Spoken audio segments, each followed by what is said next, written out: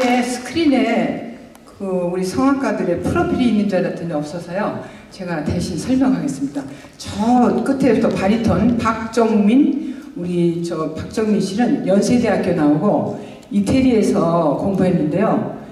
어, 콩쿠르를 무려 30개인데 1등을 18개 했대요.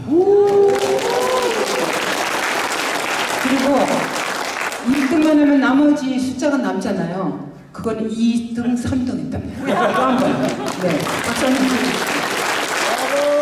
그 다음에 배성희 소프라노 너무 아름답죠? 자, 배성희 소프라노도 연세대학교 나오고요. 너무 소리도 이쁘고 얼굴도 이쁘고 마음씨도 이쁘고 그런데 지금은 그 한국종합예술학교에 어, 외래 교수로 어, 네, 그 특강 아니 뭐지 특강이 아니라 네 출강을 많이 떨려가지고 네, 출강을 하고요. 박수 안 치셔도 돼요. 이제는 안 떨리니까요. 그런 다음에 오페라를 리골레토 리골레토가 아주 중요하죠. 리골레토 그 다음에 뭐 아이다 또 춘향전 한 2, 30개를 주역으로 음, 공연한 사람이고요. 그 다음에 테너 김충식 씨는 어,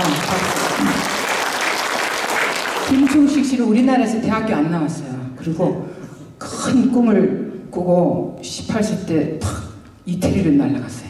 그래서 날아가서 거기서 베르디 국립학교를 나오고 또 뭐 학교를 여러 군데 다녔겠죠. 그 다음에 정말 이, 테, 이 테너, 이 고음을 저렇게 잘 내는 테너가 드물거든요.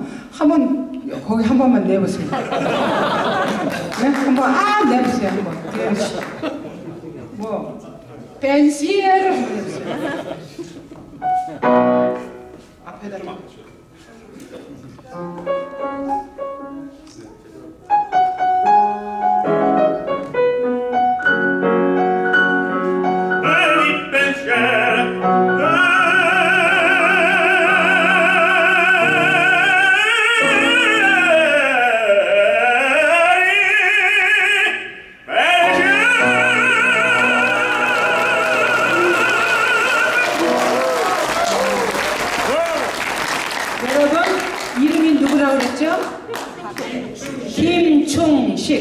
해보세요. 김충식. 자 바리톤은 박정민 시작. 박정민. 그다음에 소프라노는 배성희. 자, 한 사람 남았어요. 김황경 굉장히 어렵습니다.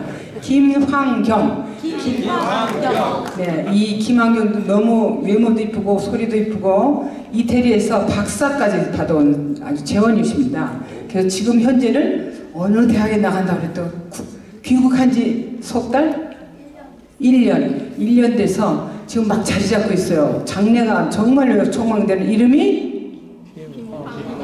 크게 하셔야 본인이 감사할 거예요. 이름이 네, 감사합니다. 그 다음에 그 바이올리니스트 허희정. 허희정 씨는 아 어디 나오셨죠? 아 독일의 테, 쾰리온 음대하고 또 두 군데라고 그랬는데 에센, 백. 뭐 어렵습니다. 자, 어쨌든 이분은 가족이 다 음악가예요. 딸이 여섯이고 아들이 하나인데 그 아, 딸이 다섯이야? 내가 왜 이렇지 오늘? 딸이 다섯인데 다 음악가예요. 무용가도 있고 그리고 아들은 골프 선수고 아빠는 상하제약의 허참씨라는 분입니다. 그래서 허트리오의 멤버예요. 박수 한번 쳐주세요.